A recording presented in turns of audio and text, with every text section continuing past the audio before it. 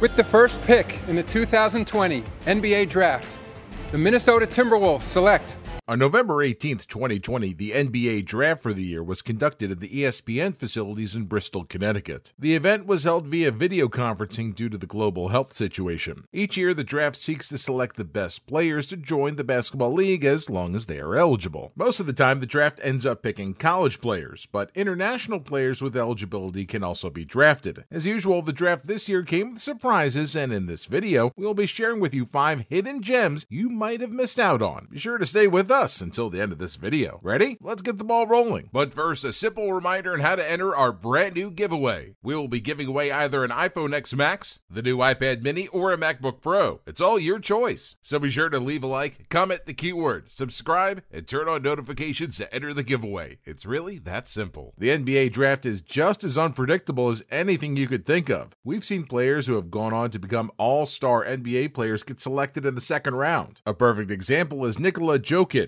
who was selected in the second round of 2014. Who would have guessed that such a player would go on to become one of the best centers in the NBA? There are also players like Isaiah Thomas and Manu Ginobili who went on to become basketball stars in their respective seasons, even though they had been selected in the second round. This happens for a number of reasons during the drafting process. Most teams always keep their eyes on the younger players, as it is important to have some youth in the team. The second rounders are usually seniors in college, and their age most times causes concern for teams. Another concern is height. Isaiah, for instance, was standing at 5 foot 9. But in spite of this, there is no doubt that we will be seeing some drafting similar to that of Isaiah and Jokic this year. With that said, let's take a look at five hidden gems in the 2020 NBA draft. Saddiq Bey. A number of critics and basketball fans might not agree with Bey being called a hidden gem. This is because there is a huge chance he will be selected in the first round of the draft, which he of course was. But this does not take away from the fact that the potential of Bey is is grossly underrated. Bey's a sophomore coming from Villanova, and he's already regarded as one of the more versatile 3-and-D players in the 2020 draft. He has a unique ability to shoot accurately, coupled with strong defensive abilities. Bey stands at 6 foot 8 and is a floor spacing expert who uses every chance he gets to shoot. Even though he is great at defending, he has more potential to get better. However, Bey isn't as athletic as a number of other drafted players, but this does not mean his stay in the NBA will be a total waste.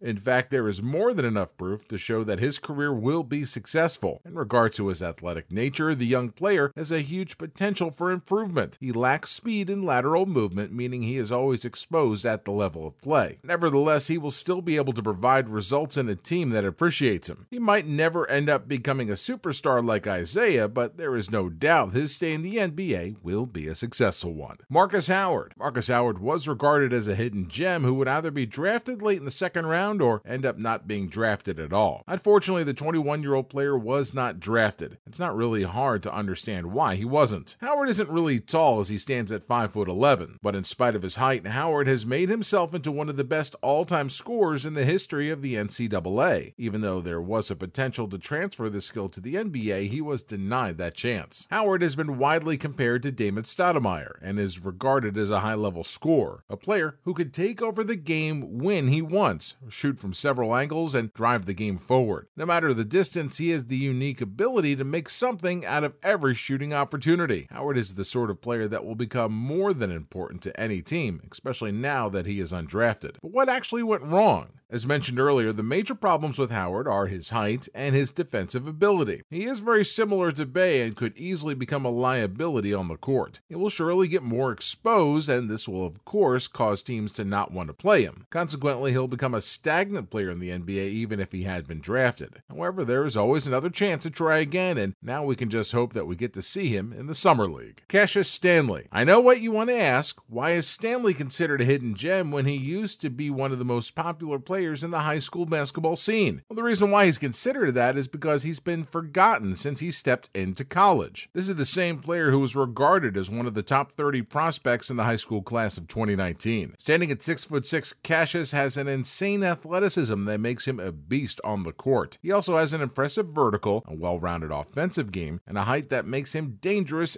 anywhere. He is also considered a big time leaper and a capable shooter with a range in the three points. Cassius was majorly touted to be drafted in the early mid second round, however, he was drafted in the late second round, meaning he was almost pushed out of the draft. But if Cassius has this level of potential, how then is he still grossly underrated? Underrated to the point of being drafted in the last stage of the second round. The importance of age in the game of basketball cannot be overrated, and this is not without reason. Teams like building players from the lowest level to the highest, establishing a team spirit among players, and seeing players reach their true potential. This is what Cassius lacks. Cassius is just 21, and most teams want a younger player whom they can build a team around, but this is not the only issue associated with him. This calls to question his abilities and skills. Will Cassius be able to adapt as a 3 and D role player? Will he be able to leave the bench when he joins a team? Well, not really. His chances of becoming a first team player are extremely low, but this can change if he develops into a role player. At the end of the day, he was drafted to the Pacers, where we really hope he makes a difference. Cash's selection in the ACC All Freshman team in the 2019 20 season and playing in the 2019 Jordan Brand Classic as a high school senior are some of his achievements, but he is still widely underrated, hence his selection as one of the hidden gems of 2020. Mamadi Diakite. If you decide to call Mamadi Diakite the most NBA ready player of the 2020 season, you wouldn't be mistaken. This is because he more than deserves a spot. However, he's considered a gem because his talent has widely been ignored and because he never made the final draft. Coming out of Virginia, Mamadi is a powerful 6 foot 9 with excellent defending skills and an exceptional ability to tackle any player on the court with him. This could be on perimeter or even in the paint. His biggest strengths are his athleticism and, of course, his defending abilities. On the offensive front, Mamadi isn't your go to guy, but his athleticism and defense can be used extensively to the advantage of a team. He's also quite good at hitting the open spot, and this is a very huge advantage for any team that scoops him up. Now, the reasons why we believe he is NBA worthy are his second to none defense, his strength, and his athleticism. More importantly, he has shown that he is a perfect option when it comes to playing in big games, as he has shown in college. But with all of this, how can Mamadi still be considered a hidden gem, and how did he manage not to get drafted in the recent draft that happened in November? The problem with Mamadi is his age. He's 23 and one of the oldest in 2020